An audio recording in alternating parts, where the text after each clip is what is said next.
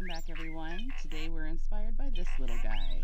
He is one of the most iconic characters in the Star Wars saga, R2-D2.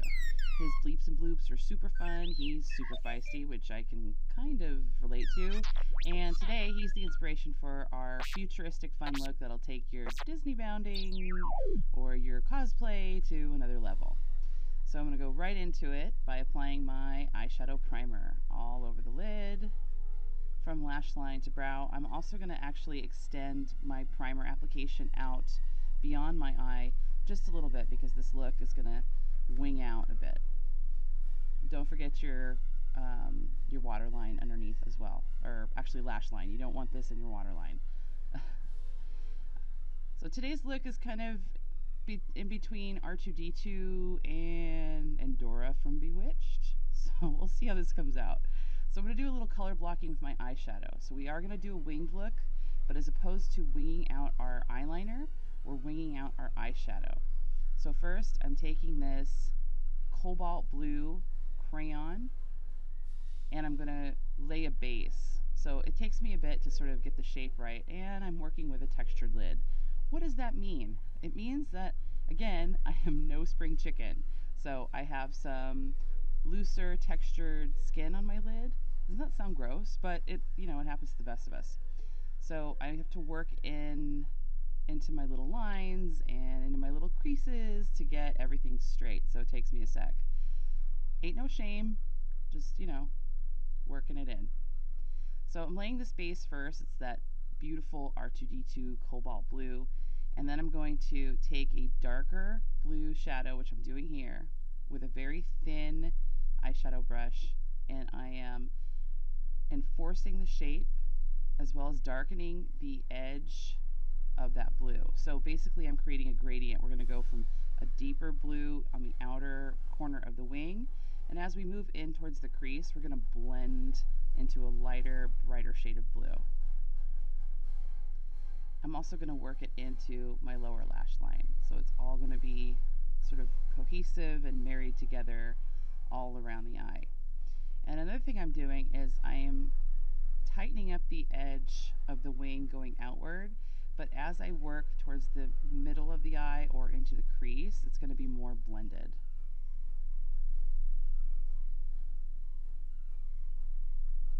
So again, just working it in. It might take you a while to get it straight because wings are complicated enough when you're doing it with a liquid liner. Uh, with this though, it can be a little bit more messy. It can be a little looser. And again, it's important that I'm marrying the edge of the top of the wing into the bottom lash line so we're all connected. And just a note, I have my foundation, my concealer, and a very light contour on and I do prep my skin before I do the videos as well as my eyebrows. And the reason why I do that is because I feel like that is a whole other tutorial. Uh, in these tutorials, I really want you guys to look at the color schemes and the artistry more so than the actual uh, complexion. Although that is important, I don't usually include them in these more theatrical or themed looks. But if you guys have questions, please feel free to ask them at any time, put them in the comments below. Um, as far as products go, I'm really bad at like holding up products as I'm working. Sometimes I do it and sometimes I don't. So just for you, I list all of the products that I use on my face in the description of the video below. So those are always listed, so you can always use that as a reference.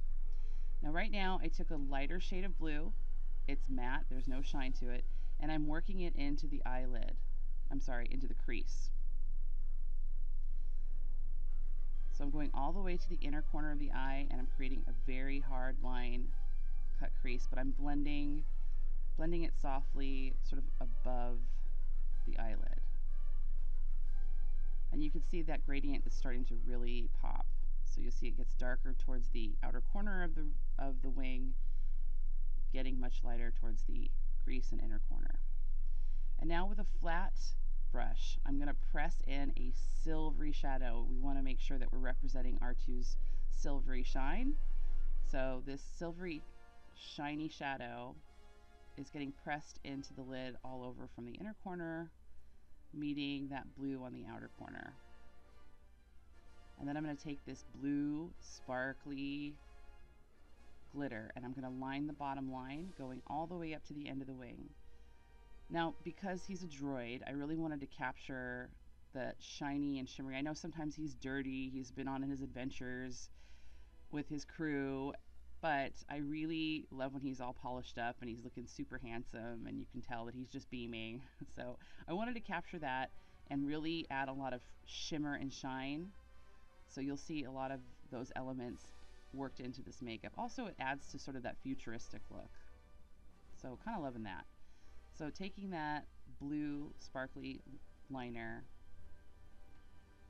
plus who doesn't love glitter? Everybody loves glitter. It makes everything better, doesn't it? I think so. So yeah, so taking that, and now I'm pressing a super shiny silver pigment, a loose pigment, over the silver so it just makes it pop even more. So it's it's not super intense glitter, it's it's actually a shimmery pigment. So it'll catch the light really beautifully as I move my head or blink my eyes. And then I'm going to line my waterline with this stark white liner. And I really felt like this, again, added to that futuristic look. And it kind of makes your eye just pop just a little bit more. And I love this liner. It's really creamy and soft, so there's no tugging, and it stays on my waterline really beautifully. Now I'm taking a thin liquid black liner and I'm lining just the root of my lashes. And the reason why I'm doing this is because I'm actually going to be wearing false lashes. I am going to apply those at the end of this. And I just love the deepness and solidarity of the look once the black liner's on. And you can see that's that beautiful gradient going from the outside into the inner corner. And poof, we got two eyes. I love that. I wish it were that easy in real life. so now I'm taking more of that, that shimmery pigment and I'm going to dust it just under the wings and my under eye area. So again, giving my skin a shimmery, sort of almost mannequin look. So we're super, super shiny so that we look almost fake, doll-like, I guess.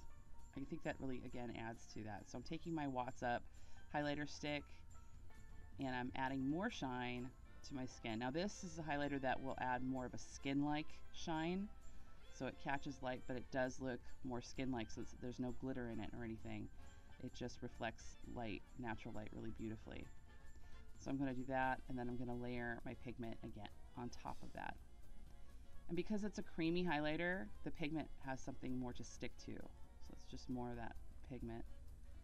Again, I'm going to list all the products down below in the description so you don't have to panic. I got you covered.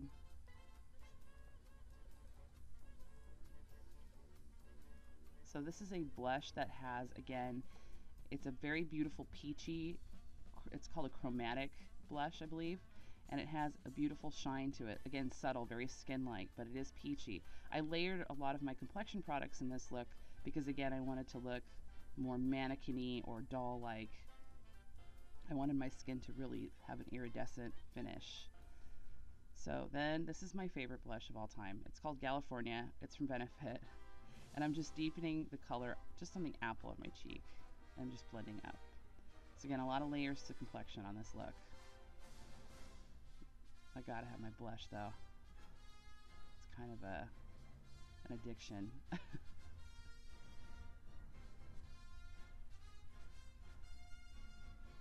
and check out all the awesome crazy faces I make. You know, I watch myself do this and I just crack up. I hope everybody is laughing with me and not at me. so now I'm going to go ahead and I'm going to apply my mascara. I always do a base coat before I put my lashes on.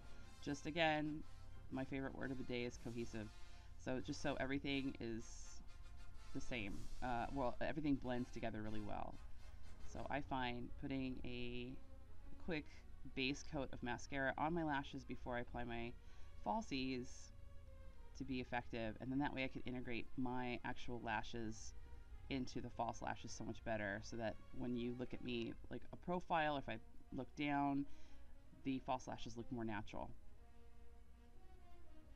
I don't have any weird double lash line.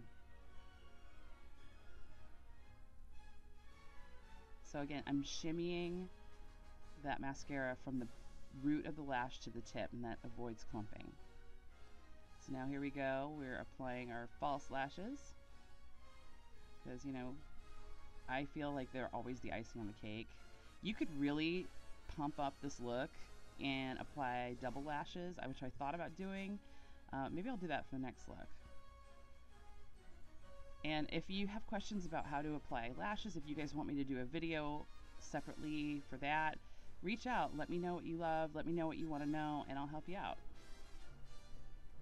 So I'm getting that lash. Sometimes, look at this little sucker. Always, there's always one, man. There's always one. We get it in? We got it in. All right. There you go. Very good.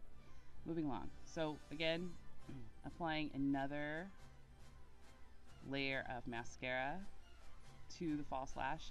And here again, I am integrating my lash into the false lash, but I'm also leveling up on these lashes. I like to layer my mascara onto my false lashes. Some people like a more natural look and the false lashes alone are enough, but for this look, come on. Let's let's amp it out a little bit. And I love a nice winged corner on my lash, so you'll see me always getting those corners, layering that mascara right up. So what's missing now is our lip. Moving on to lip time.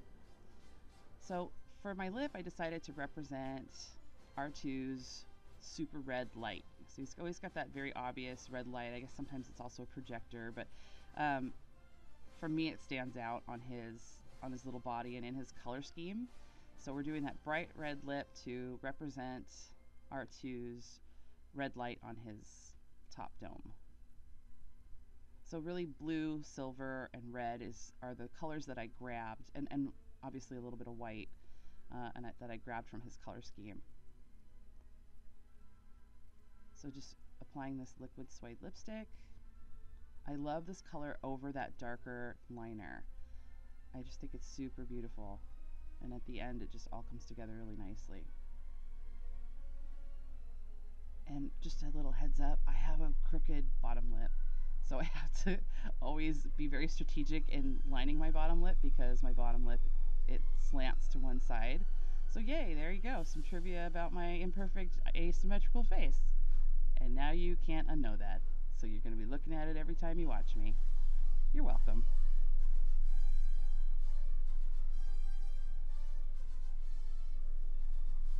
who's excited about Star Wars so stoked. I can't wait. We have to wait till 2019 though. But we're getting there. We're getting there. So there you go. There's that red lip. So we have our blue, our silver, our white, our red. That's my R2D2 color scheme. This look was pulled together super fast. It is quite dramatic. But again, I'm kind of loving it. It's super fun. So here's the end result.